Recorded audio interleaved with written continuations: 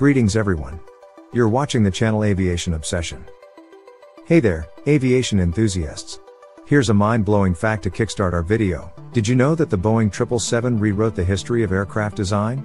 It became the very first commercial jet to be entirely crafted on a computer, no mock-ups needed. Now, that's what I call a game changer. This aircraft, Boeing's best-selling widebody, was launched in 1994 and is now in its third generation with the new 777X. It was designed in the 1990s to take advantage of twin-engine performance improvements. The 777X takes this even further as the largest twin-jet aircraft ever to fly. So, in this video, let's dive into the story of the Boeing 777 family. But before we dive in, don't forget to subscribe and hit the bell icon for future videos. Without further ado, let's get started. The Boeing 777 came about as a new aircraft to fill the gap between the 767 and the 747.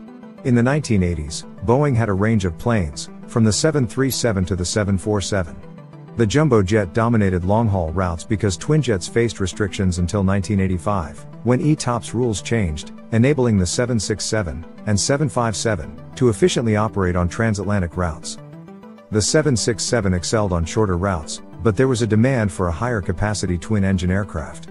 Airbus introduced the A330 in 1992, which was the largest twinjet at the time.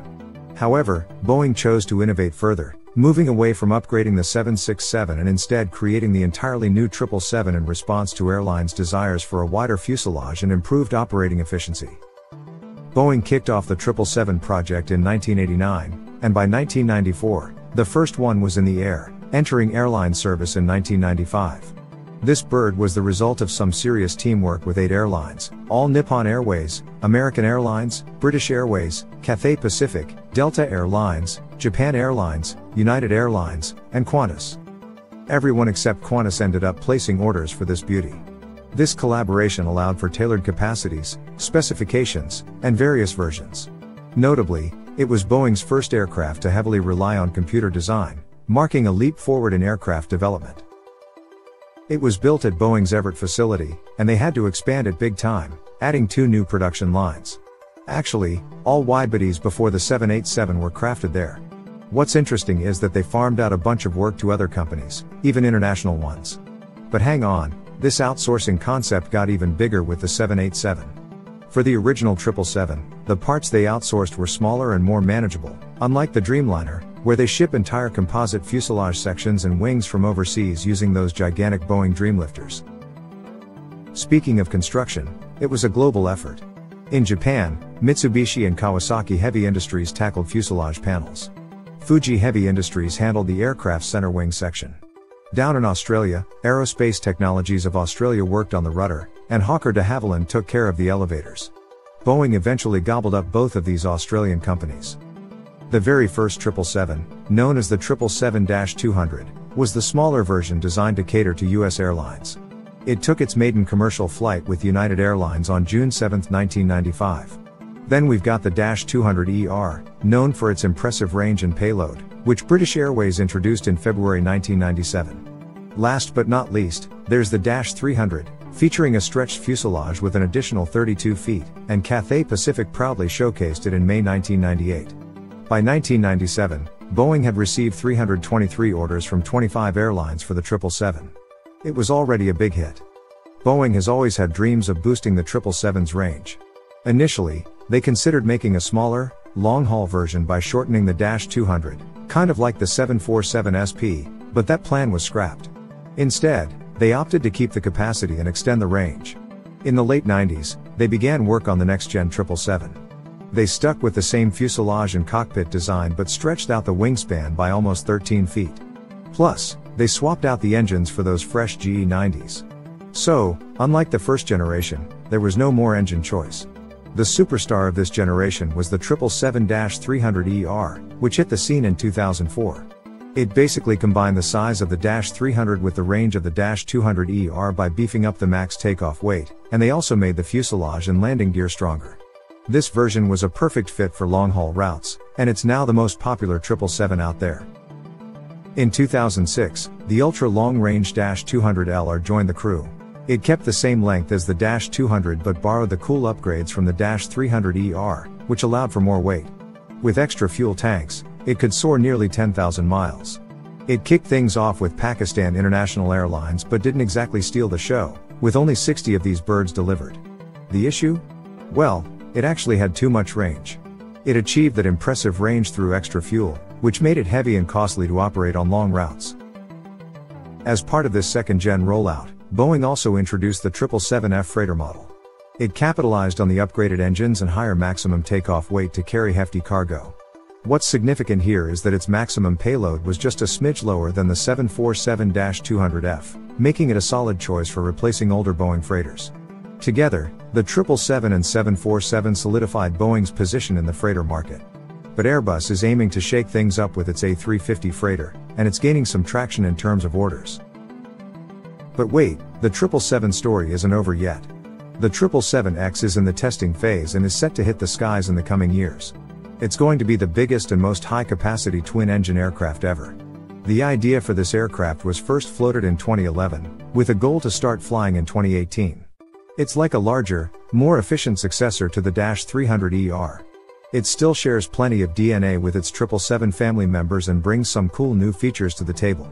Importantly, it sticks with the same metal fuselage construction. Now, let's dive into the thrilling details of the 777X. It shares the same fuselage as its predecessors but has been widened by roughly 4 inches through some clever engineering tricks like thinner walls and better insulation. If all goes as planned, we'll be looking at two versions of this plane, Firstly, the 777-9, and a smaller sibling, the 777-8. The Dash 9, which takes the lead, can pack in a whopping 426 passengers in a two-class setup. With a length of 249 feet, it's officially the longest commercial jet around. Now, the Dash 8, if it gets the green light, will hold about 384 travelers. It's set to go head to head with the A350-1000.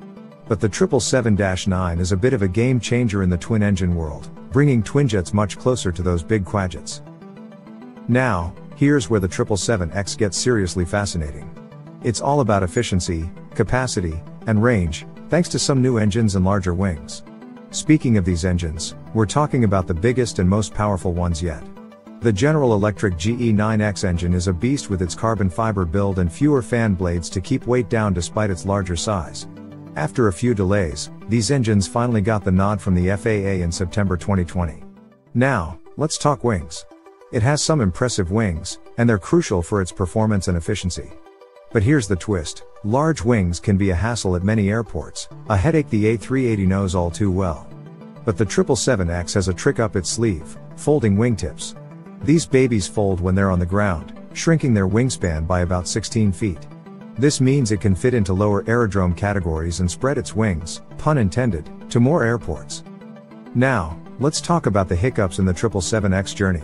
It's faced a few setbacks during development, like those pesky engine issues and structural testing delays.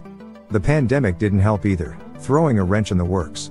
Boeing initially aimed for it to be an airline service by 2021, but that plan keeps shifting.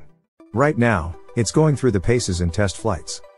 In January 2021, Boeing dropped the bombshell that the first delivery wouldn't happen until late 2023. Even Sir Tim Clark, the president of Emirates, chimed in, saying the program was in a bit of disarray and hinting that we might not see it until 2025. As things stand in the making of this video, we're looking at the 777X taking to the skies in early 2025, but remember, this could change again in the future. Boeing unveiled a 777X freighter in January 2022, set to debut around 2027 with Lufthansa and Qatar Airways on board. And there's more, they're eyeing a Dash 10X expansion for potentially 450 passengers, pending airline demand and Airbus moves with the A350. Boeing hasn't spilled the beans on this officially yet, as they're focusing on getting the 777-9 service debut. With over 2,200 orders so far, the Boeing 777 has been a superstar in the widebody world. But guess what? We're just getting started with its next generation, plenty more to come. And that's a wrap for today. Thanks a million for tuning in. If you found this video as fascinating as we did, don't be shy, hit that like button and make sure to subscribe. And hey, if you've got some cool topics in mind for our next video, drop them in the comments below. We'd love to hear from you.